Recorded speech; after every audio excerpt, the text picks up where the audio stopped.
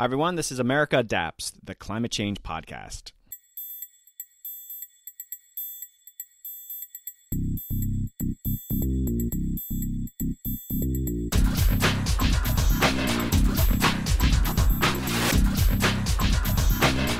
Hey, adapters, welcome back to the podcast. In this very special episode, we will be learning about the Sky Island region in the desert southwest in northern Mexico. As many of you know, I live in Tucson, Arizona, which is in the Sonoran Desert and in the northern portion of the Sky Island region. This episode will highlight the amazing work of the Sky Island Alliance, a regional conservation group doing some critically important work along the border in this vast, incredible landscape. Many of you probably aren't familiar with the Sky Islands, a truly unique ecosystem. We'll hear about the wildlife in the area, some of the major threats to the ecosystem, what climate change means to the region, and we'll also learn a bit about the elusive jaguar. Yes, it's found in the area. We'll take a visit to the infamous border wall and learn what damage it has done to the biodiversity in the region and what steps we can take to ensure that the wall isn't completed. In this episode, you'll learn what the Alliance is doing in relation to the border wall and how it seeks to conserve this region for future generations. The organization has a unique mission in that it focuses on not only land in the United States, but also in Mexico. You'll hear how the Alliance works closely with Mexican partners, along with having Mexican staff and board members. What I'm really excited to share is the field trip I take with staff from the Alliance. We'll also hear from board members and volunteers on what makes this ecosystem so important and why they support the work the Alliance is doing. In recognition of the traditional owners of the land of this region, I want to acknowledge the Pascua Yaqui tribe and the Tohono O'odham Nation. Okay, let's take a trip to the Sky Island region with the Alliance. Hey, adapters. Joining me is Louise Misztal, the executive director of the Sky Island Alliance. Hi, Louise. Welcome to the podcast. Hi, Doug. Thanks so much for having me. Well, I'm excited to welcome you on and tell the story of the Sky Island Alliance. So let's just jump right into it. What is the Sky Island Alliance? We are a conservation organization working in southeastern Arizona and northern Mexico in what's known as the Sky Island region uh, to protect the diversity of life and lands here. How old is the organization? So we're celebrating our 30 year anniversary this year. Wow, exciting. I should know this, but wow. So, any plans for the anniversary? Yeah, so later this year in the fall, we'll be doing a little bit of a tour of the Sky Islands and visiting some sites where we've worked in the past to share the kind of work we're doing. And importantly, we'll be working to build a vision for the next 30 years. So, talking about our work going forward and engaging communities where we're visiting in the Sky Islands in that vision. Okay, so you had mentioned you working in Mexico, but I want to prompt you And what's unique about your staff and your board as a conservation group. The Sky Island region, as I mentioned, is in Arizona and Sonora, Mexico. So we're working in this binational region that's spanning the US Mexico border. And in order to do that, we've got staff and board that are binational. So we've got a staff member from Mexico leading our work in Mexico and board members from Mexico as well, helping us lead our strategy and approach for the entire organization. So we're going to talk about the uniqueness of Sky Islands and just some of the other conversations that we're having. But what really is a Sky Island? If you can help my listeners visualize what it really means. When you think of Colorado, you think of just these chains of mountain ranges. But what is a Sky Island? Right. So a sky island is a forested mountain that's rising up out of desert and grassland seas, as we like to describe it. So there are these isolated mountains. There's about 55 of them scattered in this region where we're working. And up on top is pine and conifer forest, like you would think of seeing in the Rocky Mountains. And then down in the lowlands and intervening valleys is Sonoran Desert habitat and Chihuahuan Desert habitat. So there's this amazing diversity of life moving from the valleys up into the mountains, and this really neat dynamic with these isolated mountains that each have their own characteristics. I'm actually looking out my window straight up at the Catalina Mountains, you know, one of the sky islands. It's really cool. You just described the vegetation that you can go from the top to the bottom, but they describe that if you drive up the Catalina Highway all the way to the summit at Mount Lemmon, it's the equivalent of driving from where? Yeah, from uh, Mexico all the way to Canada in uh, basically 40 minutes or so. You get to pass through all these different ecosystems like the Sonoran Desert and sort of mid elevation pine oak woodland, and all the way up into the pine trees, Doug fir, conifer habitat up at the top of the mountain, rising up to 8,000 feet. And our tallest sky island actually gets up to 10,000 feet. So, some really high elevation forested habitat up at the tops of these mountains. I have done that drive many times, and it truly is remarkable that you do start in the desert and you end up and it's cooler, and you have, like you said, the conifers, and it's truly an amazing experience to do it. Yeah, it's pretty gorgeous. And this dynamic of all these different types of habitats packed together in, in these mountain ranges creates an amazing amount of diversity of life here in the region, which makes it really special. Okay, so you're not going to be able to list everything, but I, that, that's a good prompt. Like, what are some of the unique species of wildlife, and you think of even the plants? Mm-hmm. So the Sky Islands are we like to call them a continental crossroads. They're they're sitting at this special place where the Rocky Mountains, the Sierra Madre, the Sonoran Desert and the Chihuahuan Desert are all coming together and overlapping and mixing. And so, what that means is that we get species like black bear living alongside tropical species like jaguar. And another great example is the, the elegant trogon, a very tropical looking bird that's just at its northern range here in the Sky Islands. The white nosed coati is another one that we think of people think of as a more tropical species that's here in the Sky Islands. And it's really just amazing. There's 14 species of hummingbirds here, just a, an incredible overlap of all these different ecosystems with lots of different life thriving. Well, I think it's probably one of the few places that you could see a bighorn sheep and a coati, right? Maybe if you get very lucky on the same day, you could see that. Yes, you could see that for sure. So, what are some of the major conservation challenges you're facing as an organization? As I mentioned, these mountain islands are, are naturally isolated in terms of the cool mountain habitat having this really different desert and grassland in between. And then on top of that is human development, which further isolates Sky Islands. So this is an arid area in the world, and it's really important for wildlife like black bears and jaguars that we mentioned to be able to move around, to find food and water and mates. And that can be challenging with intervening human development like towns and major highways. So that's one issue we're dealing with. And another major issue is climate change, of course. We, we're in coming off of 12 here in Tucson, Arizona specifically, off of the 12 driest months ever recorded. So we're, we're facing warmer temperatures and less availability of water in an area where water is already very scarce.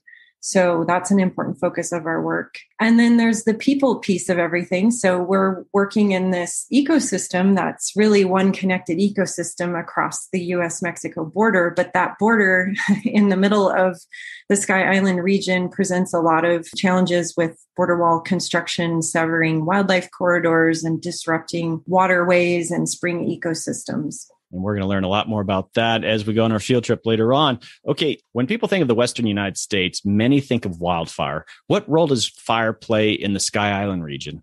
Yes, fire is a big driver here as well. And like many places in the West, we're facing challenges with increased size and intensity of wildfire and the same sorts of issues other places are facing in the West with a buildup of fuels and that kind of thing. One thing about the Sky Islands that we're concerned about and working to try and address with some habitat restoration is when a big fire burns through a sky island like we just had a big fire burn through the Santa Catalinas that we're looking at here in Tucson. A large portion of the habitat can be destroyed in a foul, one foul swoop. And for animals that need specific habitat up there at that high elevation, you know, we're thinking about where they where else they can find that in the region and how to help support those wildlife, buy them time to help them move around and adapt to these big changes. So we're in the the desert southwest and there are many tribal lands in the area. What role do indigenous people play in the region? First of all, all of our work throughout the Sky Island region on both sides of the border takes place on indigenous land. Here in Tucson, we're on the land of the Tohono O'odham and Pascua Yaqui and other indigenous peoples. And these people have ties to many places that are now on public land in the region. For example, springs that we, I think we'll talk a little bit more about, but are these really important places where water reaches the surface of the earth are often very important to to these local tribes and they have long long standing connections with these places and so there's that piece of the connection with indigenous people to all these places where we're working and certainly with the Tohono O'odham reservation here in, in southern Arizona, they are doing their own management of wildlife and wild places in their own way. And we are working uh, to educate ourselves on who the land belongs to, the history of the land, and better understand our neighboring Native nations and Indigenous peoples in our work at Sky Island Alliance. The Indigenous people are obviously partners that you're working with, but who are some of the other partners that you work with closely in the region? Yeah, so we are the Sky Island Alliance, and it really takes a village to conserve this special place with lots of complexity around land ownership. And we work closely with federal agencies like the Forest Service and the National Park Service, who are managing big chunks of land here in the US portion of the region. We work with other conservation organizations that like Wildlands Network is an example that are also have shared goals in the region. Borderlands Restoration Network's another one. We partner with them on restoration projects. And we work importantly, particularly in Mexico, we are working with private landowners. So in Mexico, most of the land is private, unlike the public land here in the US. And that takes requires a really different approach to conservation and is an important part of the picture of keeping the whole region connected and thriving. We're about to learn a lot more about the areas that you're focusing on as an organization. And I'm going to talk to other people that are, are part of this alliance. So we're going to, to learn more, but we're going on a field trip, which I'm very excited. You're taking me out into the field. Where are we going? Yeah, so we're going to leave from Tucson and go south a couple hours to the Huachuca Mountains and the San Rafael Valley. This is right on the US Mexico border. It's in a really important wildlife corridor and we're going to take a look at what's going on with border wall construction. And we're going to also take a look at springs in the area and talk about what's going on with these important uh, water ecosystems. Well, I'm very excited to get out there and be, let's see a part of Arizona that I haven't seen yet. You're going to return at the end of this episode. We're going to wrap things up. I'll see you at the, the meeting place, Louise. Sounds great. See you there.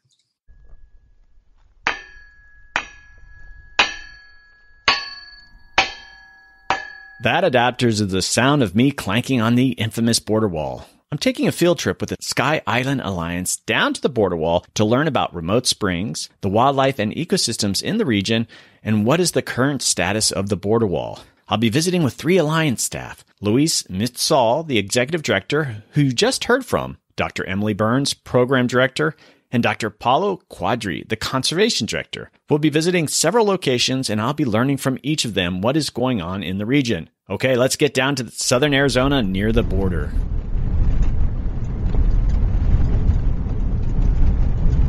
Louise, where are we? We're standing outside of the town of Patagonia, dozens of miles from the US Mexico border, and we're in this really important jaguar corridor in between the Santa Rita Mountains and the Huachuca and Patagonia Mountains that are protected open space uh, managed by the Forest Service. And we're looking south across these rolling oak woodland hills through a really prime corridor that connects these mountains into the mountains in Sonora, Mexico through wildlife corridor that's still open and permeable for critters like jaguars and other large mammals across the U.S. Mexico border. So, what kind of things are we seeing? What kind of flora are we seeing? Yeah, so we're in this desert grassland habitat with oaks, um, kind of rolling hills. We've got some mesquites here, and we can see in the distance the the really classic pine oak woodland. That's an important part of the Sky Island habitat. That's really important for a lot of different wildlife in these little bit higher mountain areas. Paulo, we have just driven through a huge grassland, and so it's sort of a, a, a, different type of ecosystem surrounding these sky islands. Could you give a little bit more background on what we just went through? Yes, this this would be the the classical example of the what we call the, the oceans um, among or between the sky islands, right? These oceans are typically either Sonoran Desert or these grasslands or Chihuahuan Desert, from there, the, uh, these islands protrude that have oak woodlands and pine oak woodlands. And this is the result of a very long sort of geological, morphological formation that goes from the Sierra Madres all the way south Mexico, all the way north to southern Idaho and Oregon, which is called the uh, Basin and Range province, which means just a series of valleys that run parallel to mountain ranges. The interesting thing about this place is that this is just north of here in the Mogollon Rim, just a uh, you know few hundred miles north.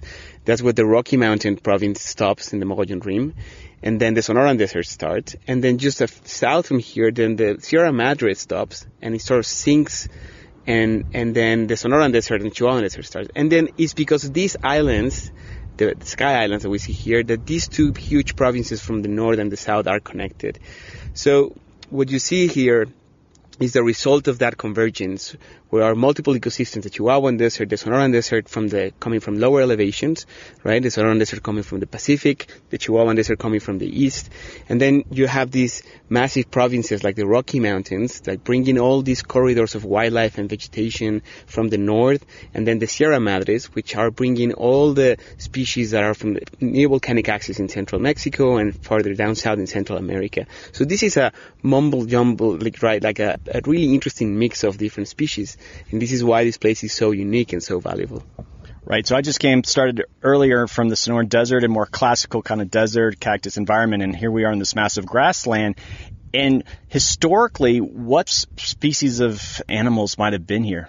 So this this is a place that has changed a lot over over time, and we were just talking, you know, in the car earlier about how much this looks like some of the habitats that you might see in the big steppes of Asia, for example, or, or the savannas of Africa. And this this is, this can also be called woodland or oak savanna. And the reason why is because thousands of years ago, but not long ago, this is, you know, a few thousands of years ago, these, all of North America, but especially these areas, there used to be camels here and even cheetahs. We were just talking about the pronghorns, for example. And pronghorns, one of their really special attributes is that they're really fast. They can reach speeds of 90 kilometers per hour, right?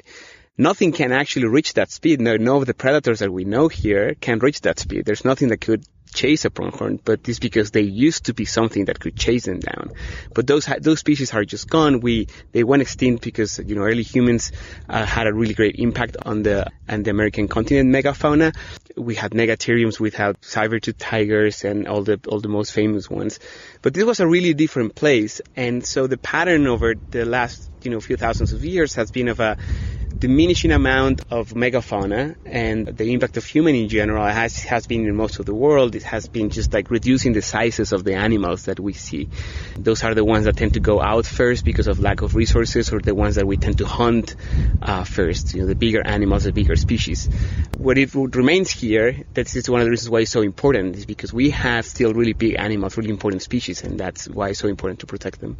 Would you say previous climatic changes affected the, the make makeup of the species, even in that, I guess, that shorter geological period. Yeah, that, that's, that's what I'm, I meant What this region has changed a lot too, right? 8,000, 9,000 years ago, we were coming out of the glacial maximum from the last ice age, and so things were changing rapidly. So, uh, in, in many cases, the Sonoran Desert started expanding, you know, further north and further, like a, a, bit higher elevations. The grasslands also now expanding at higher elevations too. So we're in that, you know, warming trend that that has been happening. It was what's happening at a slower rate. But the problem that we have now is climate change, which the main difference is just the rate of change. So things warming up way faster. But yes, the, the region has changed a lot because of glacial cycles, and that's another reason why a lot of these megafauna went extinct.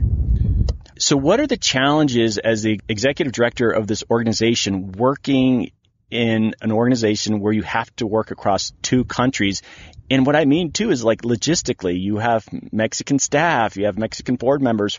How has that been a challenge to you? Yeah, well, it's one of the great joys and the challenges of the work for sure. You know, the conservation picture is really different in Mexico, so we need different tools.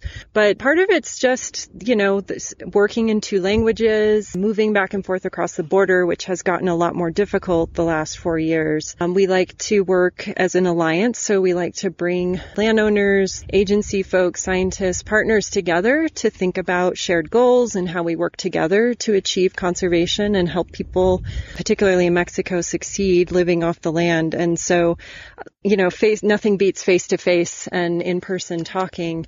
And that's just gotten really challenging with federal agency folks not being able to travel into Mexico and our Mexican partners not being able to get the visas they need to get into the U.S. And so we've been having to work around that quite a bit it's also just, you know, it's a different culture in, in Mexico. So we get to learn, me as a, as a U.S. person, get to learn how to work effectively with folks in Mexico over the years, which has been great fun. There's nothing like a carne asada cookout to get some business done at a ranch in Mexico for sure. Paulo, here we are at the Mexican U.S. border. It is really an amazing landscape. How is conservation different in Mexico? Well, yeah, that's there's there are big differences. And to begin with, I would highlight that there's in Mexico there's almost no public land, and that's one of the main differences with the United States. Uh, in the United States, total nationally, you have about 40% of the land is public, whereas in Mexico it might be around two, maybe three percent, but you know, we don't even know where that public land is in some cases. So most of the land in Mexico is private and is, and is privately owned in two different ways. One is individual private property, the same way that you have it here in the United States. And the other one is collective private property, which means that mostly on the through the figure of something called the ejido, which was institutional land tenure figure created after the revolution in the last century. And then the other, the other form is more, it's called more communal or comunidades, which, which belongs more to indigenous groups, indigenous people that own the land in a communal way, but it's slightly, it's different than what an ejido is. The ejido is a more contemporary type of form. So this changes the game a lot in how you do conservation because you, there's a more, there's a bigger need for doing things inclusively, which, you know, on the one hand, it has, it has challenged the Mexican government and the Mexican conservation policy to try to be more inclusive and to try to come up with ways of making conservation work so that it, so that it compensates people that actually own the land. But at the same time, doing that is challenging and actually hasn't worked every, in, in every, in, in all cases. And in, in fact, you know, there, there are uh, big problems with how to actually convince people that conservation can be a good thing immediately for them in both in time and location, right? That, that, and so that changes a lot of how things work between the two countries. What do Mexicans think of the Sonoran Desert and these Sky Islands? What's their relationship to it? Here in the United States, it's probably a mixed bag. People from a tourism perspective, but maybe they're not necessarily living off the land. But is what's the, I guess, their appreciation of it? What's the different relationship with the land? Yeah, that, that that's interesting, and you know, because I, I would say that for uh, people in the U.S., for example, I, I, one of the most iconic signs of uh, tourism or to Mex for about Mexicanness and going to Mexico is the saguaro, right? It's like this, or the the nopal or the cacti. And in Mexico, depending where you are, but you know, there there is a, uh, a tradition, of course, of uh, using nature as a as a recreation to as a um, uh, with this recreational perspective. But as I was saying, because of the, the way land is owned and the way conservation is done, there, there is less of a culture of like they, like there is in the United States for people from different places to move around and to go to parks and visit these open spaces. And uh, there's not th- that much this culture of moving around across public land and to have a sense of belonging of these places unless it's your actual land, right? Unless you actually live there. Now that doesn't mean that people, for example, here in northern, in Sonora, in the towns of Moctezuma or Esqueda, you know, people still go out during the weekends and try to visit these places, but it's access to, to natural attractions, it's, it's a bit more complicated because you're usually always on someone's property, right? And so that complicates the relationship that people from urban areas or from towns can have with the surrounding landscapes. And then there's also the problem, um, a more recent problem of, of safety, right? That is uh, the case of Sonora, for example, which unfortunately has been run over by a lot of the cartels and the disputes between the cartels. And so it's not so much of a safe, safe uh, place to actually go and go camping and get yourself lost for, for days, right? Or spend time with the family outside. That's a really unfortunate thing. Overall, I would say, you know, as in the same the same the, uh, the, the, same way it has it's in the U.S. I think Sonora has a great tradition of um, being an outdoor space where people try to enjoy the desert when times when it's not that hot. You also have access to the Sea of Cortez, which is a wonderful place. You know, if you keep going west, and then you have the mountains, which I Sonora is a famous place, same as Chihuahua for a lot of Mexicans, for example, to one of the places where you you get snow right every winter, and that's a big attraction for a lot of people. What kind of wildlife would you expect to see in, in this habitat that we're in right now? Well, this is one of the most biodiverse places in North America. So, um, especially for mammals and birds. So you here you can expect to see anywhere from coatis and ringtails and species of mammals that are typical of central and southern Mexico and from Central America, for example, that have their northernmost distribution here. So th- this is it for them. This is as far north as they make it. Also jaguars and ocelots of the, the, the big animals running the show. But then you can also expect to see some of the classic representatives of temperate zones like the uh, black bears and the coyotes and the raccoons and in, in the case of, of birds, you have everything from acorn woodpeckers and gila woodpeckers to some parts of the mountains, for example. You even get some visitors from the south to like trogons and other wonderful birds. So it is really a fascinating area. Seeing a jaguar is obviously very rare, but we are in a corridor where they actually are. How do you know they're coming through here? Well, they're being a lot of organizations, including ourselves and uh, and of course also government agencies on both sides of the border, there's a lot of wildlife cameras operating and monitoring programs on what kind of wildlife we're seeing, right? And we know that from also research that jaguars, the, the territory of jaguars actually used to go all the way as far north as the Grand Canyon, even from all the way from southern Argentina and Uruguay. And and it seems that in the past couple of decades, uh, some individuals of jaguars from central and southern Mexico have been moving up. Uh, and these cameras have been detecting these individuals uh, coming to Sonora and also crossing the border. Uh, and in, in some of these places like the Chiricahua Mountains and the Huachuca Mountains. We, we've seen them through our research cameras and we know they're there and we know that they're using these places as corridors and as, as habitat. So that's why it's really important to, to conserve these places. Emily, what is the Border Wildlife Study? The Border Wildlife Study uses an array of cameras along 30 miles of the U.S.-Mexico border to define what the wildlife community is based on animals that are detected on our cameras. We're focusing on the medium to large sized mammals, but we've had a tremendous diversity of other types of species appear on our cameras as well birds, insects, reptiles. But we have 30 mammal species, including the North American porcupine, four species of skunk, white-tailed coati, mountain lion, black bear, coyote, bobcats. I could go on and on and on. When you talk about how the border wall is going to impact wildlife, people care. It's important to them, but it's sort of this out of sight, out of mind. And so this camera work really must be a powerful tool for you to communicate what's going on down at the border. Yeah, we began to watch this section of the border and its wildlife community out of the imminent threat of border wall construction. And because construction has approached our study area from both the east and the west, but not actually cut it off in the middle, we now find ourselves watching one of the last remaining passable wildlife corridors in southeast Arizona. How does this study work? You know, walk me through a typical day in the field. We have an array of 58 cameras that are each spread two kilometers apart. So our field crew goes out and visit about eight cameras in a single day.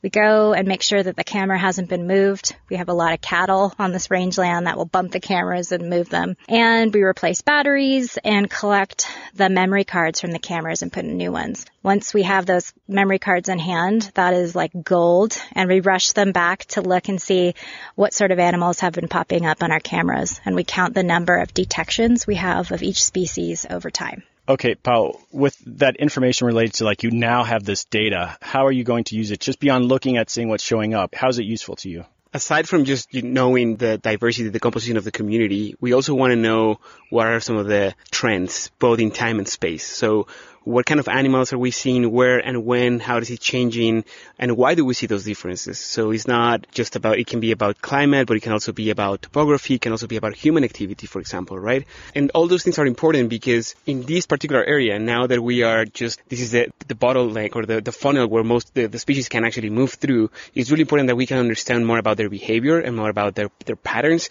so that that can help us inform conservation efforts in the future on both sides of the border, right? This is also something that will help Mexican authorities and Mexican nonprofits to improve their management.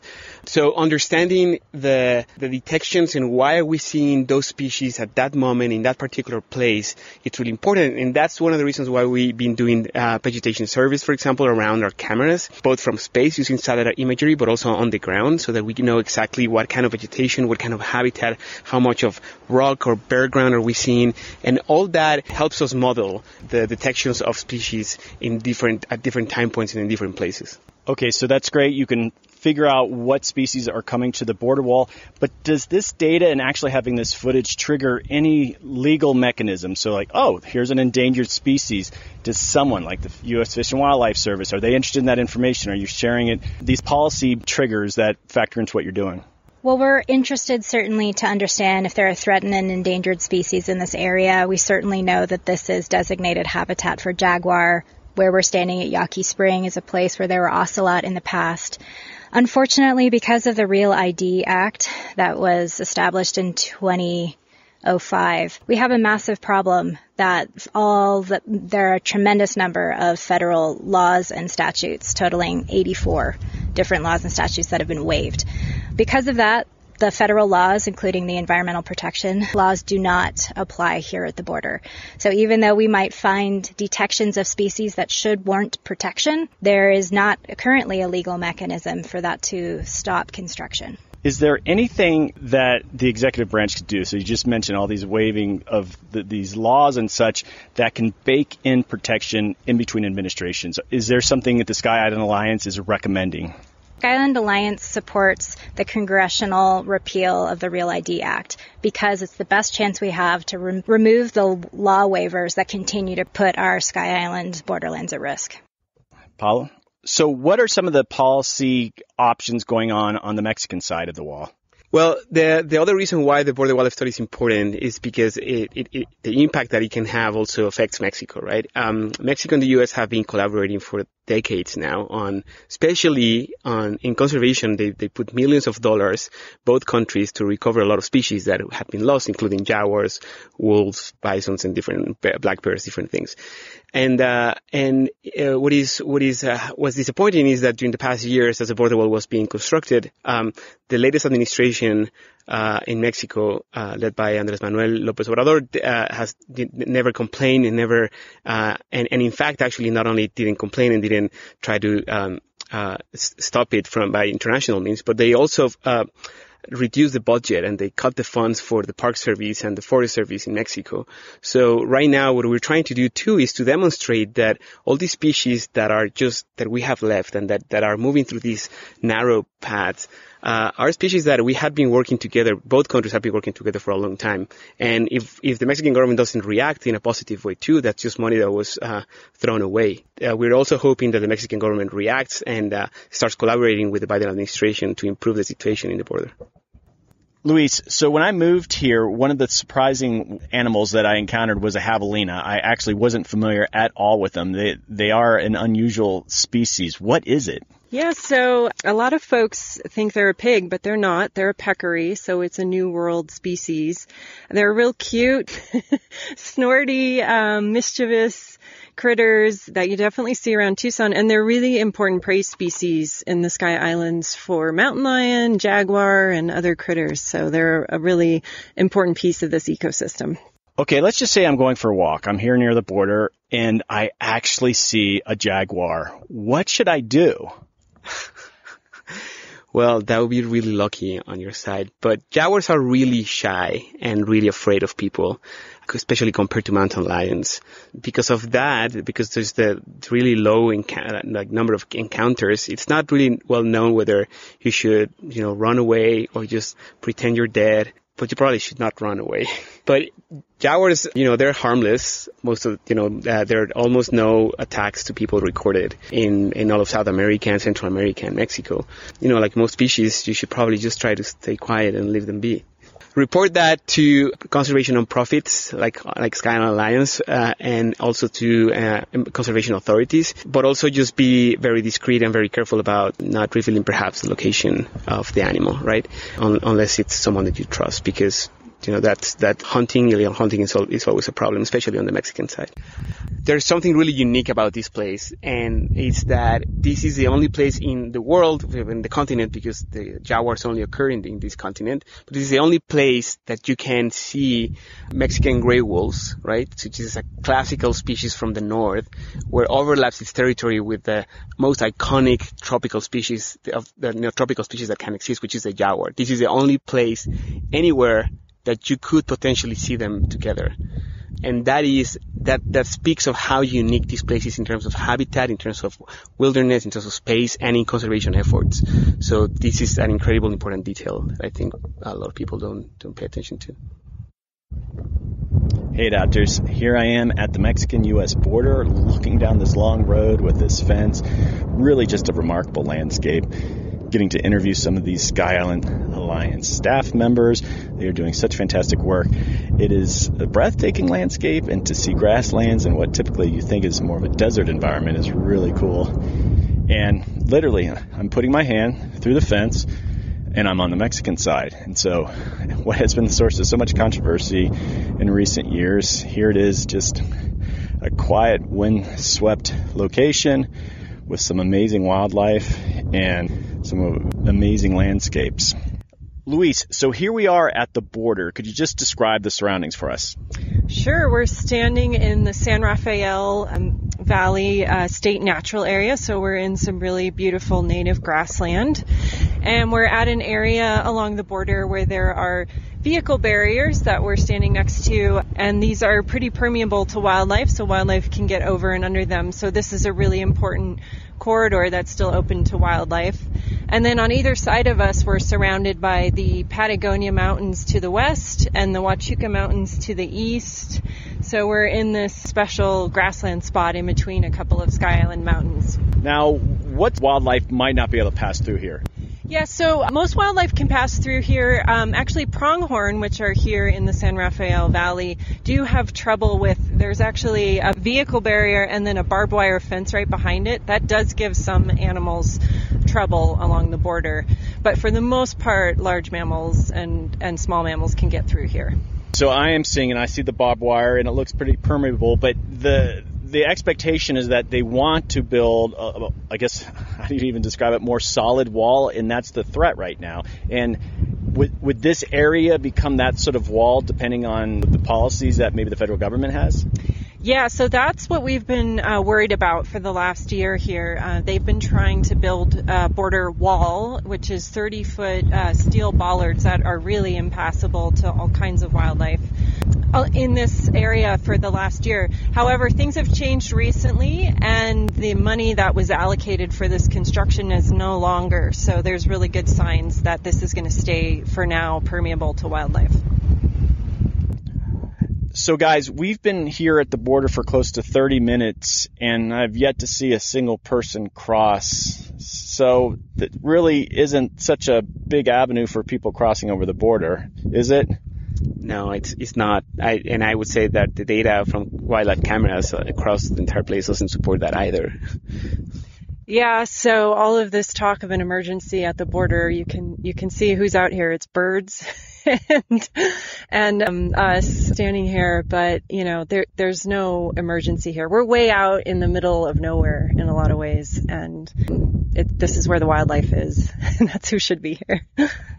What are some of the biggest misconceptions people have about what's going on at the border? Mm. Well, one really big one is that a lot of people think of this area in, as the Sonoran and Chihuahuan Desert, and when they think of a desert, they think of an empty, sandy ecosystem without a lot of what's going on here with the beautiful mountains and the rolling grasslands. And so lots of folks just can't really visualize the amazing habitat that's here at the border. The other piece is I, every time I've taken someone down to see the border wall that has not seen it before, they are stunned it's really stunning to stand next to 15 or 30 feet of steel columns and really understand how it's segmenting the continent with this wall. So folks, they hear fence, they hear these different things and they don't realize the, the enormity of the structure and the road, the big roads that are built next to it and the lighting and all of that that's here at the border. So Emily, here we are literally about 100 yards from the border. You can see part of the fence here, but we're surrounded by this big giant open area that is absolutely cleared. It's dirt. What went on here? This is the massive construction staging area that was created when Southwest Valley constructors started the wall building contract and behind me is a massive moonscape. it's 450 feet across and it's been cleared of the oak woodland. So the grassland, the agave, the trees have been removed.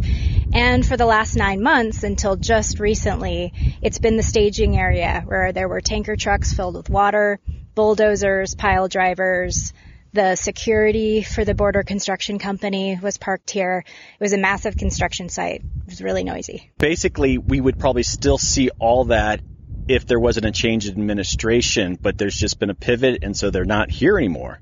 On inauguration day, construction was as active as ever at this point. Over the next seven days, we saw an uptick in construction activity in the final days before the pause began in the Biden, in the Biden administration. What happened in the weeks that followed was a slow retreat of the construction equipment from this area, but it was unknown. Was it just being moved to another location temporarily? But at this point in time, the groundwater pipes that were put in to truck water from the border from further upslope in Coronado National Forest have been removed. And now all that's left is the staging area, the barren wasteland that was left behind, and a few signs from the construction company that are telling the public to keep out. Okay, so for the staging area, I'm looking around and I just see this barren landscape, and surrounding it, as you can see, the, the, the native plants and such. But what's a potential future? It could have multiple potential futures. What are you hoping might happen here? I'm hoping that this is one of the scars from border construction that can be fully healed. I would like to see us return the native vegetation to this landscape and create a place where we can interpret the history of what happened in these embattled borderlands. So actually, there's an opportunity. Let's say a change in administration again, people might want to continue to build this wall, but this might actually serve as sort of an example of what it really means to kind of build this wall and what it, it happens to the, the local ecosystem. I know I would find peace to be able to come and visit a place where we brought trees back to the landscape, where we rebuilt habitat for wildlife after there's been so much destruction the story of what happens at the border is always going to be unfolding. It's such a political issue. But what we know we can do now is start to heal the land and bring some of this ecosystem back in a place where it's been so affected. Talk about the dark skies work that you're doing associated with the border wall research you're doing. Well, one of the things we've been really fascinated by is seeing how active wildlife species here along the border are at night. Between sunset and sunrise, we see a majority of the mammals out and about, hunting, going about their business. And it's one of the features of this part of the border that's so special is that it's still really dark and not polluted by lights. We think about the nighttime environment as being really critical for the health of animals. It affects animals being out foraging, the predator prey dynamics change, migratory birds are affected by artificial light. And so it's one of the features of this stretch of the border that we'd like to see protected. Not only do we not want the wall to cut off the movement of animals between Mexico and the U.S., but we want them to also have the darkness protected. And one of the risks, even if wall isn't built, is that we could have more roads and more border infrastructure like lighting that could come in and really disrupt the natural community here. So I imagine that is a long-term problem that even if they're not constructing the wall because they've pulled back, some of the infrastructure is still there. And is that part of your goal to as part of your restoration is the infrastructure too? Yeah, absolutely. I mean, one of the first things that we'd like to see happen is any small changes that could be made with the existing border infrastructure that could benefit wildlife to be made. We'd like floodgates to be open so animal can move through holes in the wall. We'd like lights that have been put on the wall to illuminate the ground and the sky to be turned off or kept off. And then certainly as border policy evolves and there's the potential for more border infrastructure to be built, we really don't want that to include lighting. There seems to be so many layers to how you deal with the border wall, construction, maintenance. Who are you literally dealing with? What agency? How do you even communicate with trying to get these things across? We believe that if enough people on both sides of the border care about protecting this land and not having it degraded by border wall infrastructure, that we can change the state of border policy. The Department of Defense has been constructing a tremendous amount of infrastructure and there isn't real meaningful public and community engagement on the type of construction activities that happen here and the militarization of our borders. One of our asks is to have border communities have a much stronger voice in addition to our land management agencies like the Forest Service and National Park Service and tribes to actually have a meaningful voice and to shape the border policy going forward. Louise, what is the status of the border wall in your study area? Right now, the just recently the Biden administration has canceled further wall construction that is funded with Department of Defense money. And all of the wall construction on either side of the border wildlife study is funded through that money. So those contracts have been canceled and we're starting to see the contractors who are working on constructing the wall pulling out equipment and people. So really good news. When they pull out, we've learned a little bit that they leave a mess. What does that mean, and what does that mean for this organization? Yeah, so uh, we have spoken about the mess and the dangers of erosion and the need to revegetate to support wildlife. So we've asked the administration to transfer funding to restoration efforts, and it's really important that we keep an eye on restoration. Sky Island Alliance is at the ready to bring volunteers and and do some of this restoration work and work with partners to find funding to support the land management agencies in doing this really important restoration and stabilization work. Okay, we were just interrupted by some birds. What were they? That was a flock of Mexican jays. What additional acts could President Biden take to deal with the restoration? And I guess one of my questions is you have the border wall that they've constructed, you know, these 30, the 30 foot high wall. Can we, they just tear it down? Mm-hmm.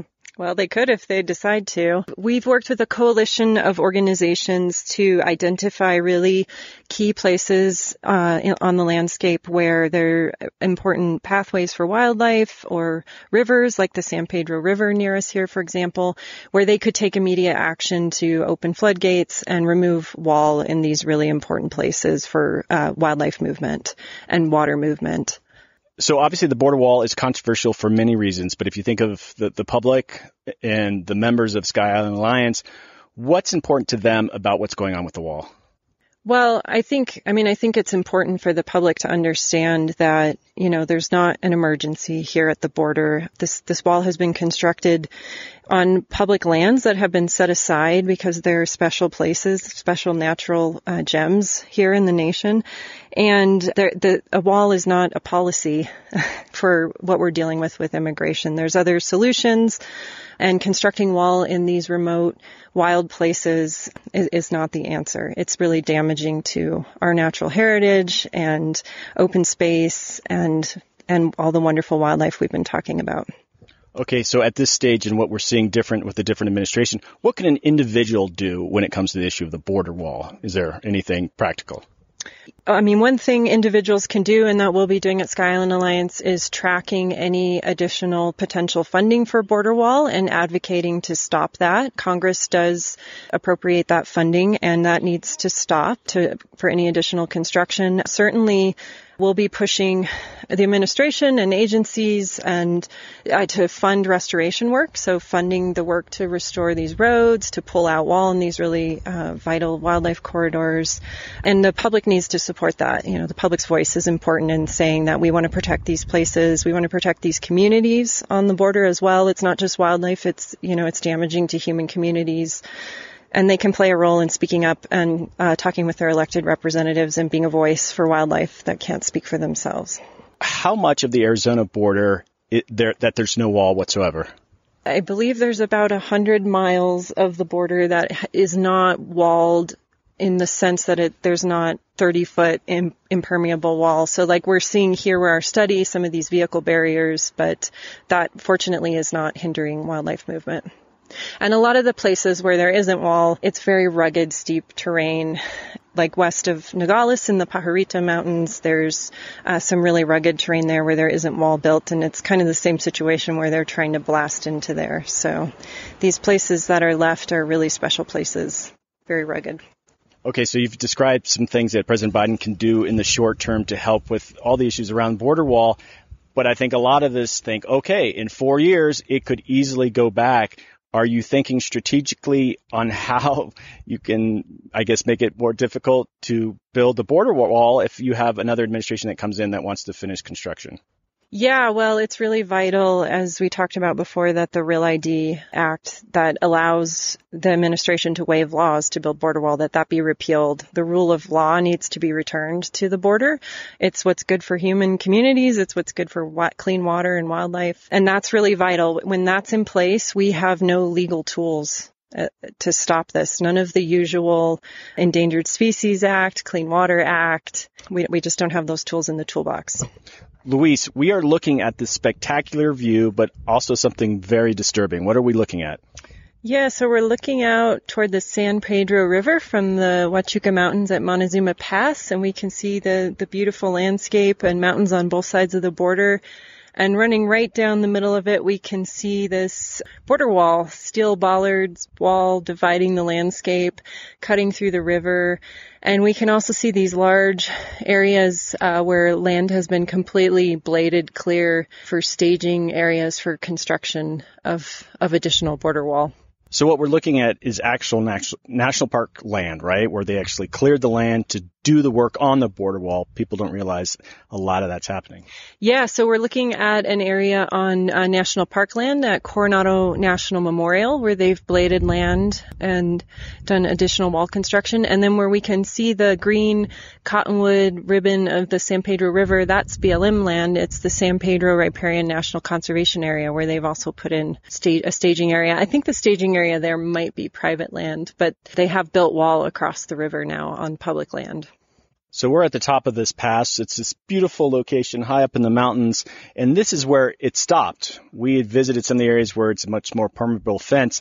This is where it stopped, but the goal was to continue to build this high type fence and it stopped right here. Yeah, so just behind us, up, up, beyond the peak, are additional roads and area where they started constructing road to put in the wall, but it has stopped. So yes, when when Biden the Biden administration halted border wall construction, this was an area that where construction was in the in the works and stopped. There's a potential we could see some of this fence ripped up. We hope so. And the San Pedro River that we're looking at is a really uh, good spot to start. This is a vital wildlife corridor and migratory flyway. The San Pedro River is a life-giving ribbon of water here in this more arid landscape flowing uh, from Mexico north into the U.S. And they have actually constructed wall across it at this point. So the floodgates need to be opened and that is a prime section to tear down. Louise, so we have just walked across. We're right here near the border. You don't necessarily get to go out as much as you probably want. What has really stood out to what you've seen today? Yeah, well, I actually haven't been out to this um, spot here in the Huachuca Mountains um, since they've built a pretty significant and really horrifying road up the side of the mountain. So that was pretty stunning to me. I've seen the, the photographs, but seeing the actual destruction of the side of the mountain is pretty heartbreaking. And just driving along, you know, we've really been noticing a lot of dead oaks and the dryness. The drought is really visibly prominent. Uh, in the trip here. But I would also say um, it's really wonderful to see uh, arriving here that equipment for border wall construction has been removed and this wonderful, really important pathway for wildlife is still permeable. And so that's really good news, which lifts my heart for sure. Okay, so your organization is collecting data on these springs. How do you articulate that to the public and your members, how important it is to do this kind of work? Well, people love flowing water, actually. Spring, the Springs work has been a really popular project all along with volunteers. And people, I think, inherently understand the magic of hiking out to a place like this where we walk through some dry land and when you come to flowing water and you can see all the different plants and animals that are in that one spot around the water, it really kind of speaks for itself. And then we like to, you know, talk about how important water is for wildlife and make that connection because people tend to be very connected with wildlife and share all the different kinds of species that we see at springs and photographs of them there and just help people feel the joy of, of the life-giving essence of springs. Well, with a lot of studies, when you're collecting data, it, it gets more important the longer you do it. What is the long-term outlook for maintaining this work? Oh, yes. Well, we've always, we started this work with a model of working with volunteers.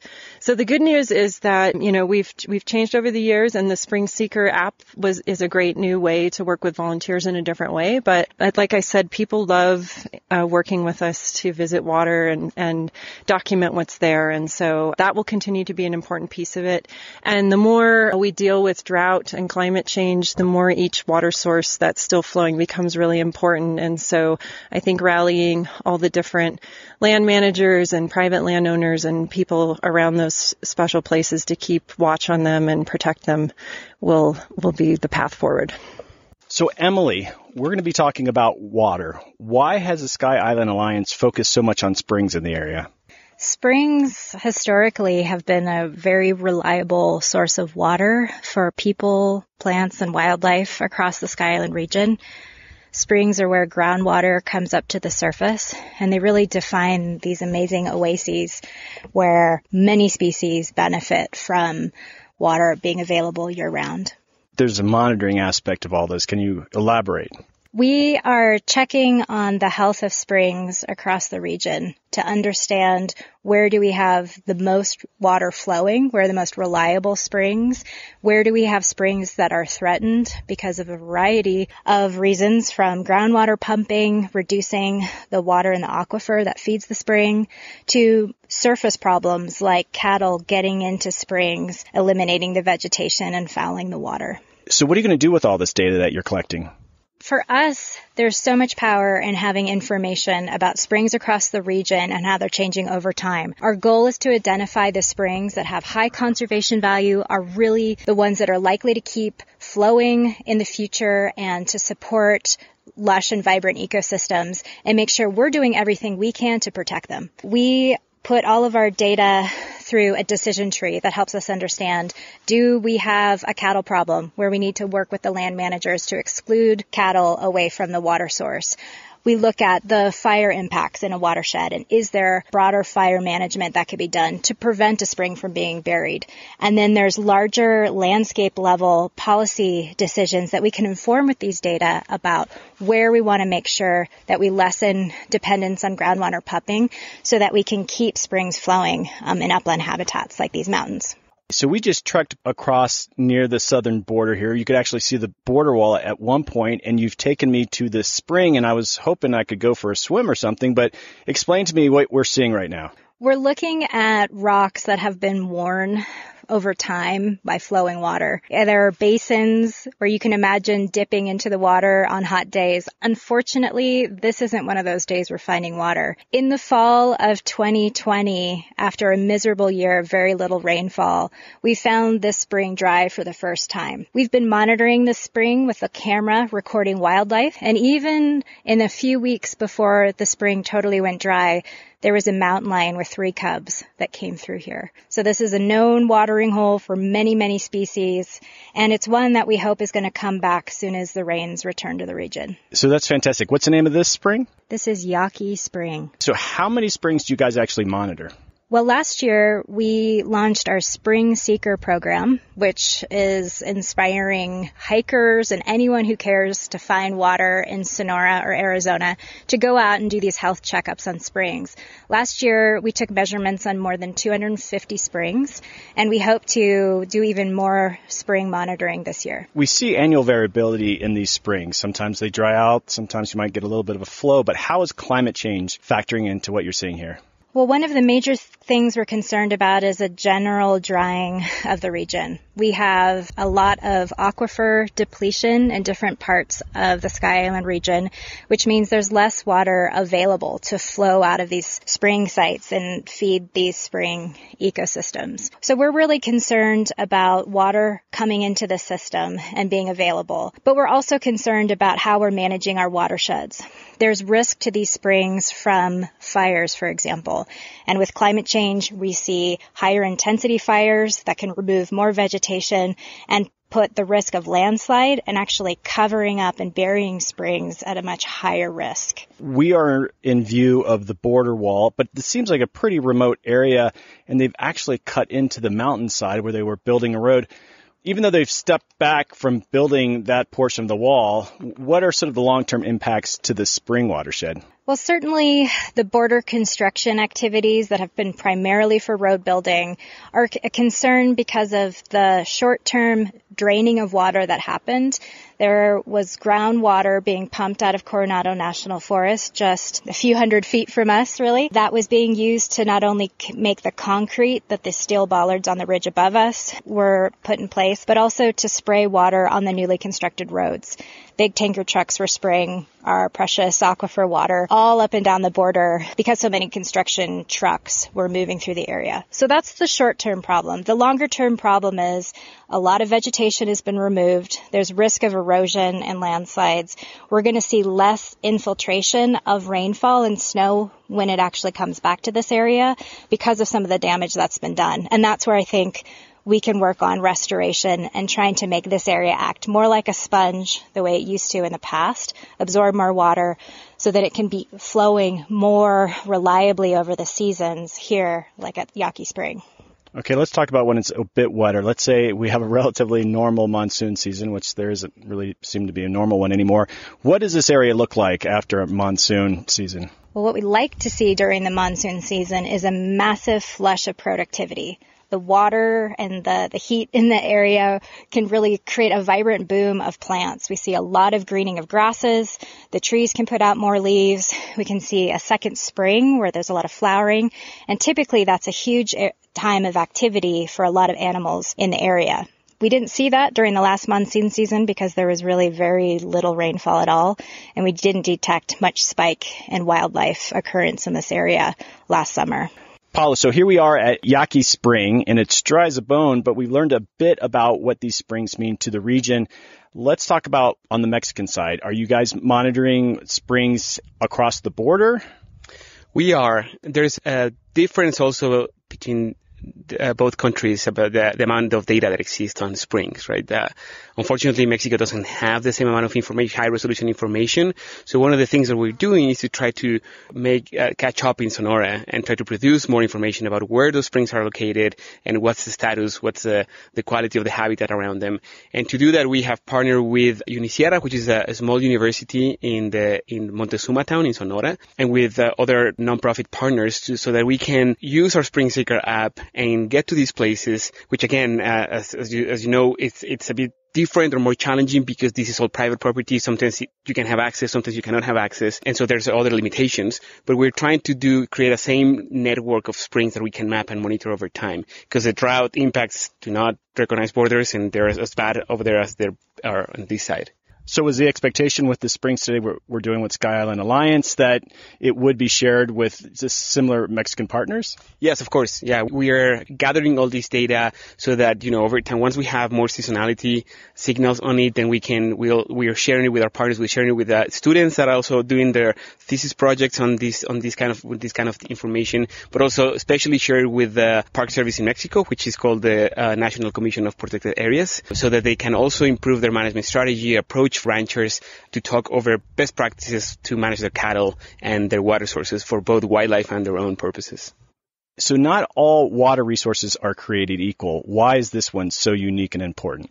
We're really focused on the water sources that are in this stretch of the U.S.-Mexico border because it's still passable to wildlife. Imagine being a wide-ranging species like black bear or mountain lion who for many, many generations, maybe thousands and thousands of years, these species have been moving between Sky Island mountain ranges in search of food and water. Well, now they encounter things like a 30 foot steel wall they can't cross. They're going to be walking for many more miles. And the first water source that they can come to is a spring like this one, Yaqui Spring. It's imperative that we work with the Forest Service and the ranchers here to do everything we can to let this water source flow again. It could be the difference between life and death for some of these species. Hey, adapters, before we wrapped up our field trip along the border, I asked Emily, Louise, and Paulo what their favorite spot is in the entire Sky Island region. It might give you some ideas if you are in the area or plan to visit. What's your favorite spot in the Sky Island region? Well, my favorite spot is probably right looking out of my own home window where we have badgers that come and take a bath in a water bowl we put out. I really love the Chiricahua Mountains on the east side. There's a special place there, uh, South Fork of Cave Creek, where I've spent a lot of time bird watching and dunking in the perennial water that's there. So it's a really special spot in terms of bird diversity and seeing lots of different critters. Okay, well, I'll I'll repeat one. Like for the Chiricahua Mountains, the first time I was there and really, really impressed me, like made an impression on me, and especially the eastern side. That that canyon is out of this world. I think it's one of the hidden jewels of, of the United States. But I also love the Pinaleño Mountains. Uh, that's the highest Sky Island. It's above 10,000 feet. And, and there's spruce forest up there. So that basically means that you can travel from the Sonoran Desert or Chihuahuan Desert and up to Canada, right, in a matter of 30 minutes. And that, that to me is such a unique place in the world. So uh, I, I really love that mountain too. Hey adapters, I hope you enjoyed that visit to the border wall. What an adventure and what an amazing landscape. I wanted to share more of the Alliance's story with you, so I interviewed two board members and a volunteer. You'll hear from more of the great team that is working to conserve this region. Hey adapters, joining me is Claire Zucker. Claire works at the University of Arizona as the director of Pima County Cooperative Extension. Hi, Claire. Hello, how are you? Well, welcome to the podcast. I appreciate you joining me. Well, first off, let's just get a little background on you. What do you do there at the extension? Well, I'm the, the director of the office. We do a whole lot of different things, including 4 H, horticulture. Uh, you may have heard of Mar- Master Gardeners program. We also have a lot of health and nutrition programming. Tucson Village Farm is under our auspices as well as all the other 4 H clubs uh, around the region. So, just a big variety of services within the county. We answer a lot of questions and we try and help people wherever we can to help them make their lives better. So, how long have you been on the Sky Island Alliance board? I was trying to remember that. I think it's like five or six years now, quite a while. Okay, so why did you join the board in the first place? For a long time wanted to be in on environmental boards as a way to give back to the community. My history is in watershed planning, uh, sustainability planning. I worked for Pima Association of Governments for many years on a regional and the whole region, and and I was on the Audubon board for many years. When I got off the Audubon board uh, about a year later, they asked if I would join Sky Island Alliance. I already knew about SIA and I was already really impressed with their programming. So it was just a no brainer to um, try and support them by being on the board. Okay, so the Alliance has their focus areas, but what are your main concerns for this whole region? They very much align with Sky Island Alliance. I think that habitat connectivity is a really critical aspect. Being a water planner, I'm also very concerned about the long-term preservation and restoration of of our, our flowing rivers and also our springs. The, those water resources are critical to all of the, the wildlife and of course the plants in this region. And it's a precarious balance, particularly in, in light of climate change and, and increasing heat and more sporadic uh, precipitation. So I worry about I don't know, the ability for our landscape to sustain itself over time. And Sky Island Alliance is a very unique, very unique nonprofit because it's looking holistically across the landscape, but while also doing science based research and documentation. And I think that's one of the things that really attracted me to Sky Island Alliance is the is the science base basis for their work. I love seeing a good graph. I love seeing a good pie chart. I like knowing numbers. How many of those did you see? And so I I find it very satisfying and I also really like the staff at Sky Island Alliance. They they sort of align between that that place of pure joy and enjoyment of our natural environment and the nitty gritty hard work it takes to really ensure that we understand it and can protect it. So, not all board members, when they join a board, necessarily work in the field on the organization that they're part of. And so, you, you generally are in in that space. Do you find the work that you do in in your organization overlaps much with the alliance? That's an interesting question. I think my the, I probably had the greatest overlap when I was working at PAG, Pima Association of Governments, and was very involved in watershed planning and in Cienega Creek in particular, doing documentation of the flows and the the sort of yearly mm. changes and monthly changes in that habitat there. So I think that work probably overlapped more than my current work does. However, between those two jobs, between becoming the director of Pima County Cooperative Extension and my work at PAG, I worked at the Water Resources Research Center as the associate director and in also with the university. That is also with the university. And in that capacity, I thought a lot about water resources as well. And those natural flows are so precious and irreplaceable. So we have a very complex way of managing water for people, but it's much harder to manage water for nature if we're not in there trying to learn about it and protect it and be advocates for nature, for nature and, and the water systems that provide the sustenance for that habitat and wildlife, then there won't be anybody doing that. So this is one way I can give back. I can be engaged and knowledgeable about what's happening in this whole southeastern Arizona and into Mexico. Well, on that note, what's it like working on a board where there's representation from two countries? I love that. I just love it. I find the perspectives are really interesting. I learn about the way that the Mexican government and the national non- nonprofits and people involved in environmental issues, how they're, you know, some of their constraints and some of their concerns, that their resources. I learn things all the time. And, you know, nature doesn't stop at the border. These landscapes are broad, and this particular landscape is so unique. The, the Sky Islands, with their many, many habitats, down from the deserts and, and few intermittent streams in the lowlands all the way up into the high forests. And that stretches, that bit of geography stretches into Mexico. So you can't cut it off at the border it's wonderful to be with other people that are that are working at it from a Mexican perspective. So that's that's been really great. So for the past year, even as board members, the challenge of conducting board business with COVID has been a challenge. But what are you looking forward to in the year ahead? Well, that's kind of interesting. It's, I think, in some ways been easier to connect with my Mexican counterparts on the board during COVID because we're all on Zoom. Mm-hmm. And that has actually created this sort of feeling of everybody really being in the room on an equal basis rather than people in the United States being in one boardroom and the people participating from Mexico being on camera. We're all in the same space. And that's actually been a, an equalizer in some ways and easier to communicate across the border. I hope we continue that, at least for some of our engagement on the board. Do you have a favorite spot in the Sky Island region? Oh, very good. Well, of course, Cienega Creek is near and dear to my heart, really is. I spent so many hours down in that creek.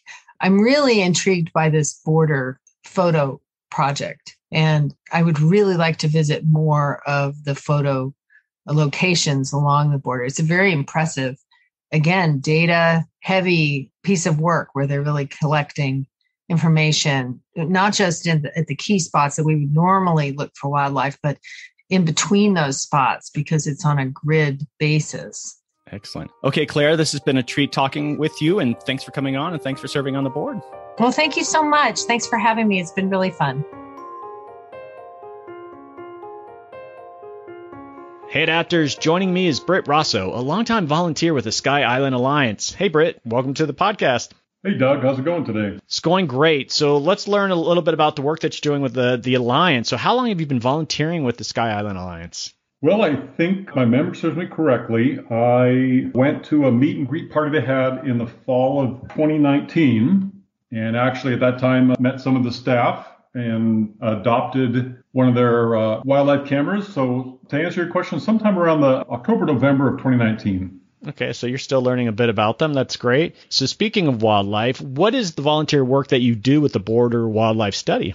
Right now, so I, I guess for history, for context, I assisted Sky Alliance in March of 2020, right before the pandemic blew up, with installing multiple blocks of cameras within the study area. And then there was some initial fine tuning of the cameras, and then we eventually rolled into a maintenance mode. So Right now, I support the Border Wildlife Study in maintenance mode of servicing cameras about every six weeks, changing SD cards, checking batteries, making sure they haven't been, you know, bumped or, or moved. So that's my main effort with the Border Wildlife Study. And some of these are in pretty remote areas. You have to kind of drive out in the middle of nowhere, right? Yeah, you call it the middle of nowhere. Yeah. yeah. I've adopted one of the blocks. So I go down every six weeks and they're fairly remote. Some are some are close to dirt roads, but it's, you know, it's two hours, good two hour drive from my house to get there. The cameras we work with are right on the border. So you are actually pulling out the, the, the disc, which has the information of what the camera might have seen. You don't get to see that per se,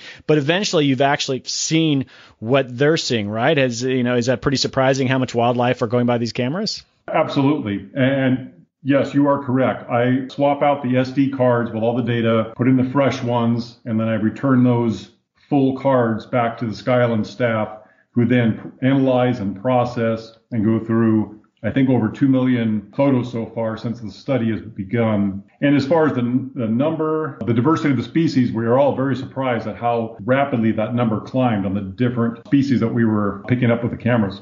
Any sort of standouts for you? Any wildlife that you were really thrilled to see?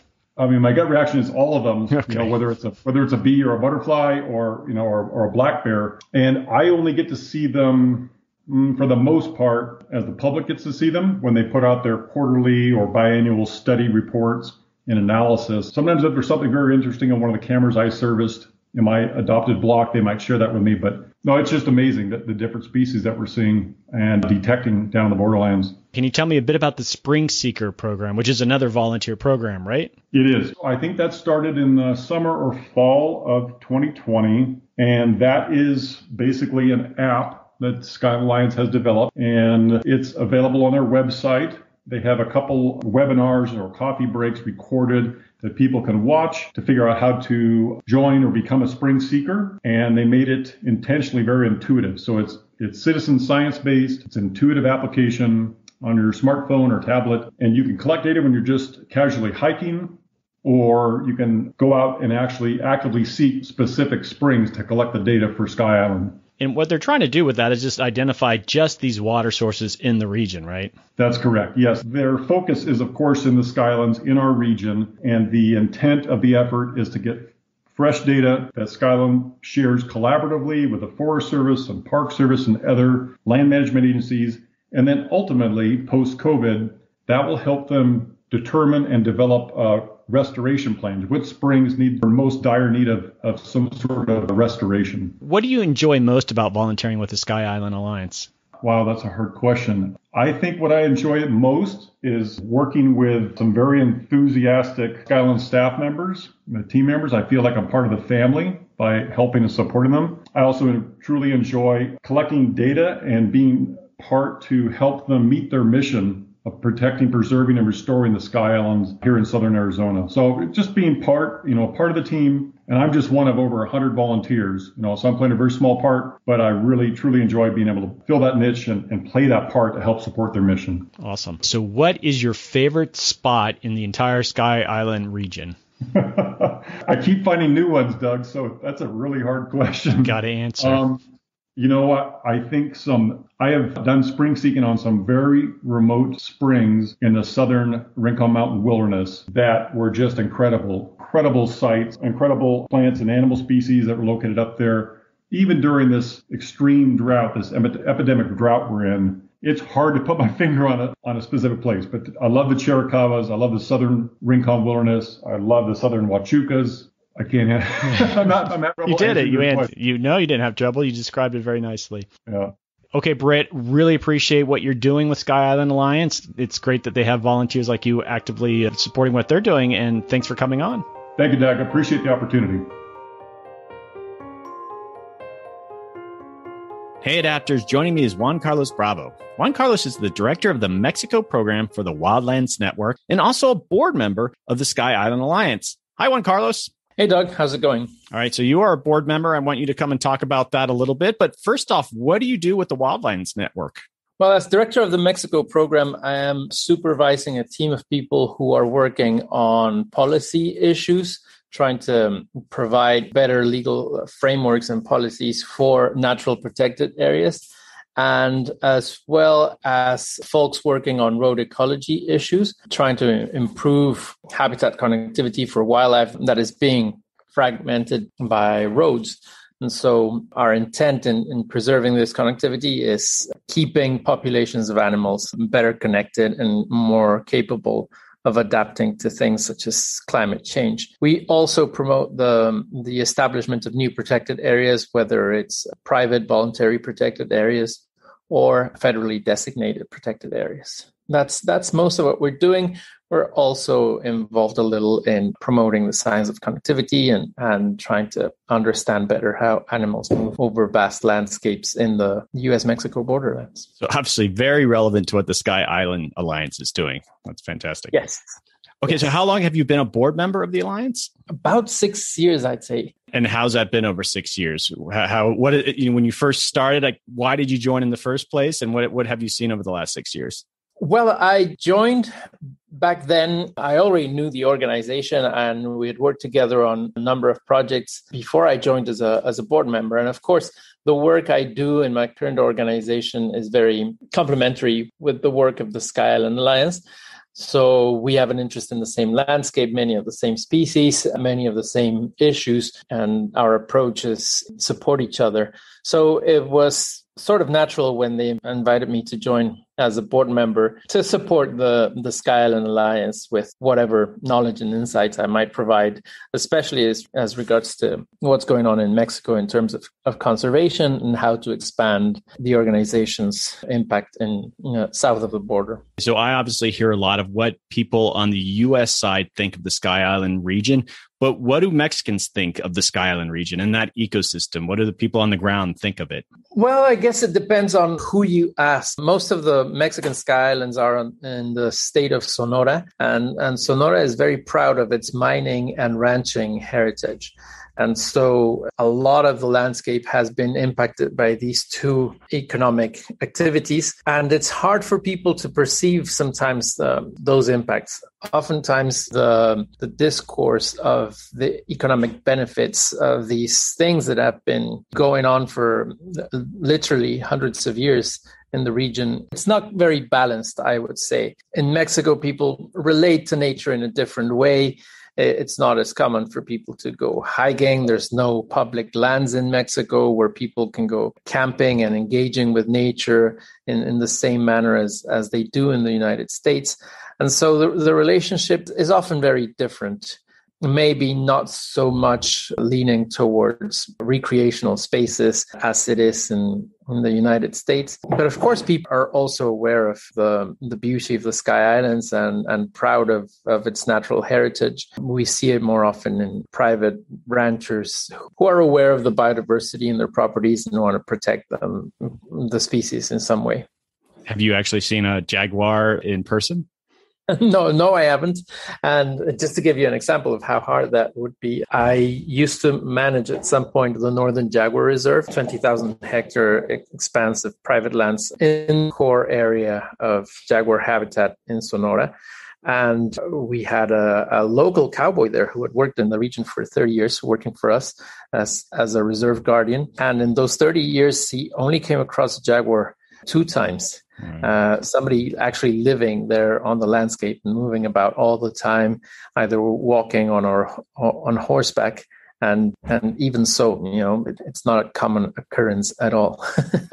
well, those are two very special times. I'm sure that that would be amazing.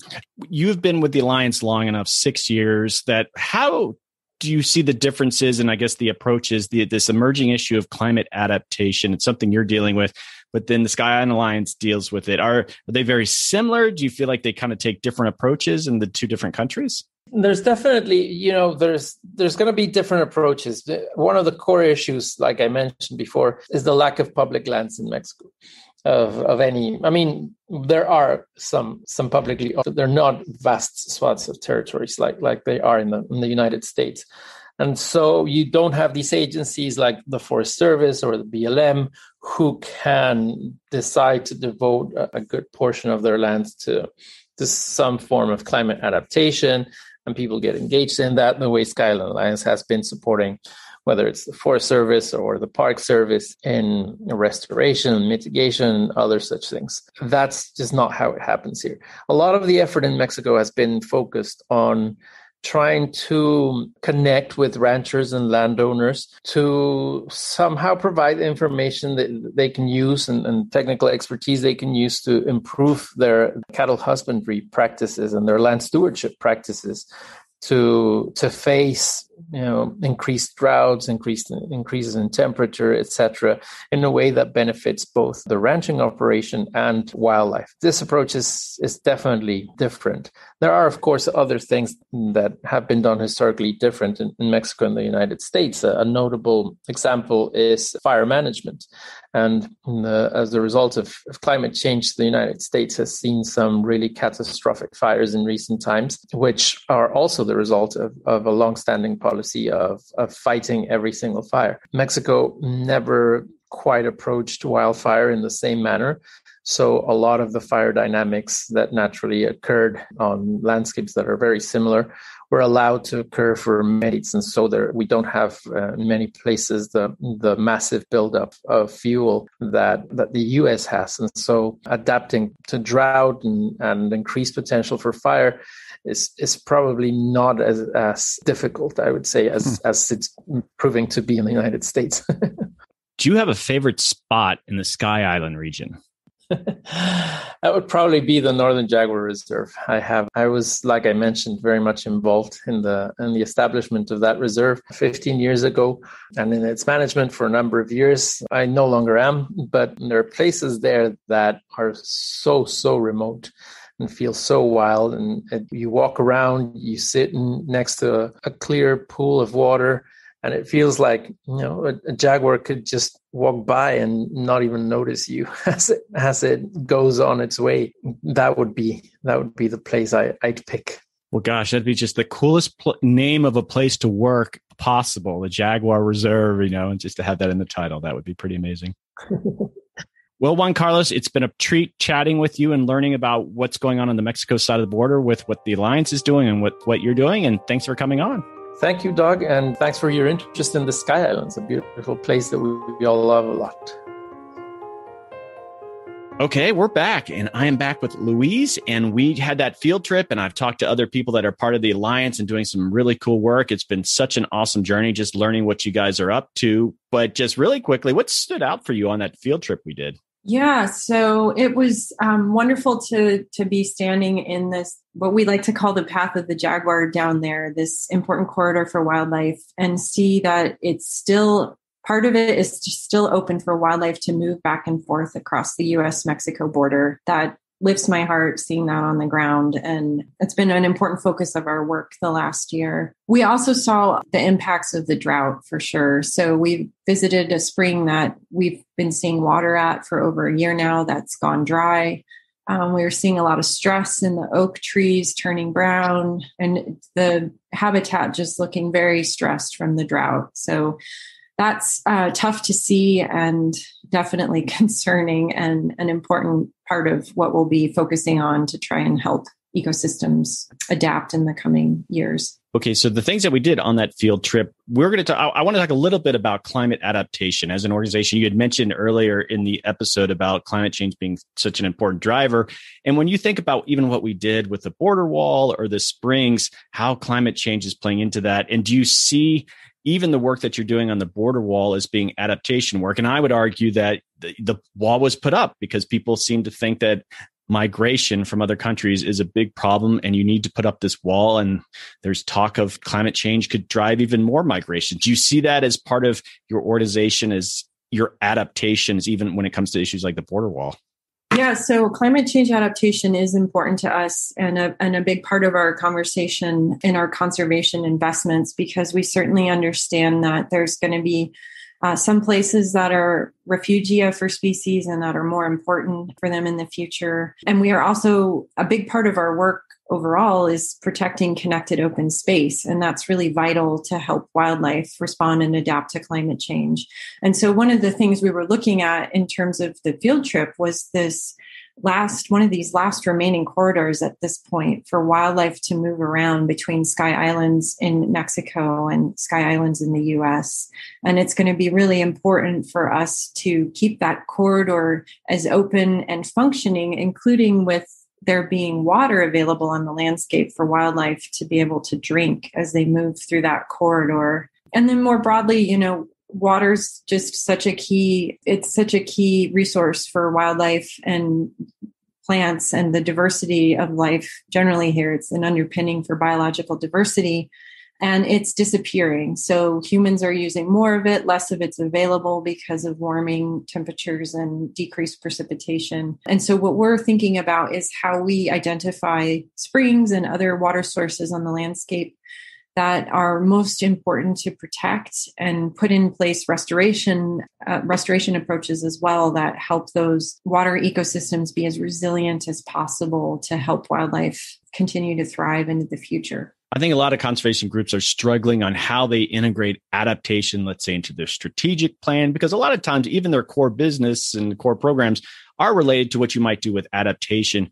Are you thinking about climate change in a strategic way? You have a strategic plan. Is it in there, or do you plan to have it in there, or do you feel like you just cover it with the work that you're doing? So we we've done work in the region around climate adaptation planning with a number of different partners, do- dozens of land managers and scientists and other NGOs, and that work still guides our work as well. We very explicitly think about climate change in terms of where we make conservation investments and are thinking about things like if we're implementing resistance strategies to try to help a special place in the landscape persist, how do we do that in the context of helping larger transformation that still supports biological diversity and keeps a number of species thriving? So it's a it's a key part of our strategy and how we think about where we work on the landscape and where we invest. And it's just such an overwhelming driver right now with drought and heat for uh, impacts on wildlife, which is a key part of our focus. So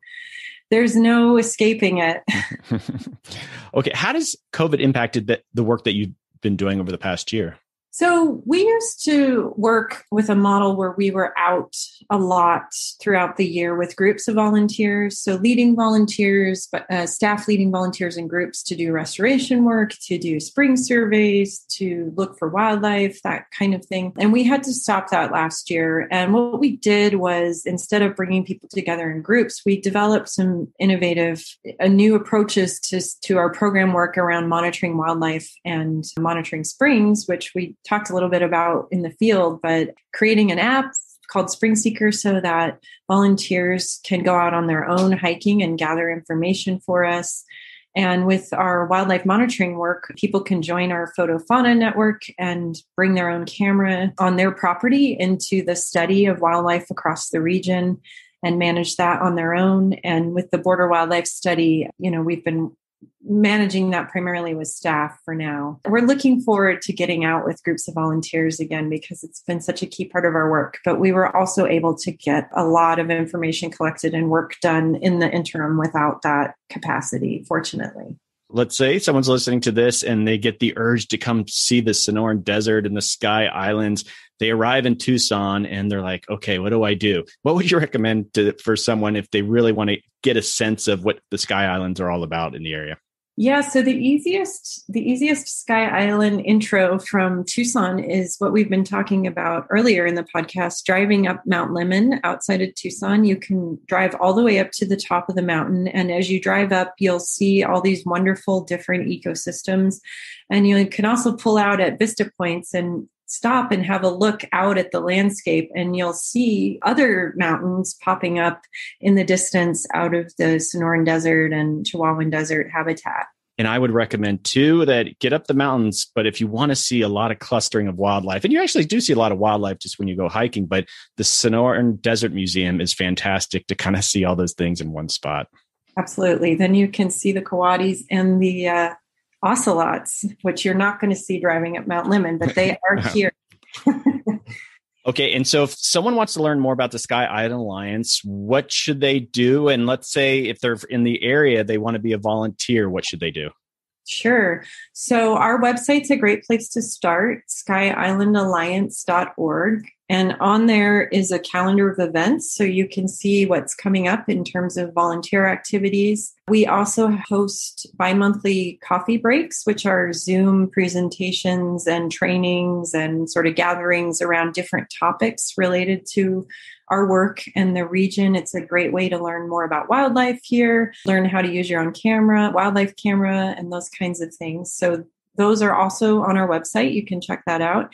And all of our current program work that we're talking about is there as well if you want to learn more about one of these initiatives like Border Wildlife Study or Spring Seeker and find out more about how to get involved yourself. Okay. And so one of the reasons I want to share your story is that you, you, truly have a unique mission. You're on the, the border with Mexico and the impact of the border wall and all these issues. So there's people all over the United States who are very interested in you guys succeeding what you're doing. Let's say they want to donate to the Sky Island Alliance and local people or people that are in Maine or Washington State. How do they go about doing that? Oh, sure. Yeah, so there's also a donate page on our website. So you can donate easily online. And if you go to that page, if you would rather make a phone call, we're happy to take your phone call. And Georgina is listed there for you to, to give a call to. And certainly, you know, we're all about keeping wildlife thriving and connected and water flowing in the Sky Islands. And this is a really special place in the world. And in the United States. So we hope you'll join us in supporting wildlife and water.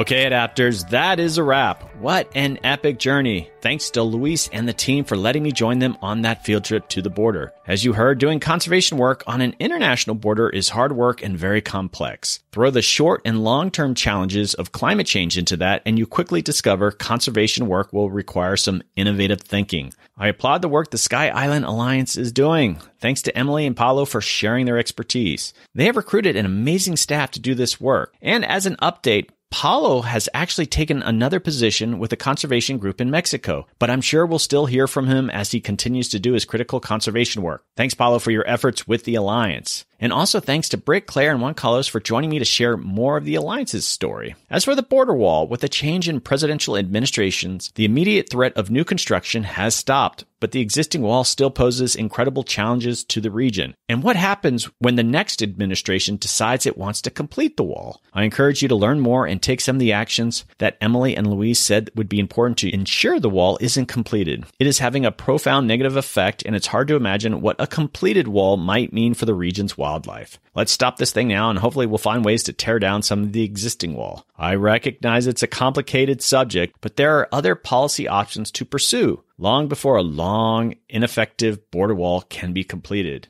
On a positive note, I recorded these interviews in the early summer, and since then, we have had an epic monsoon season. The rain has been relentless and the desert has come alive.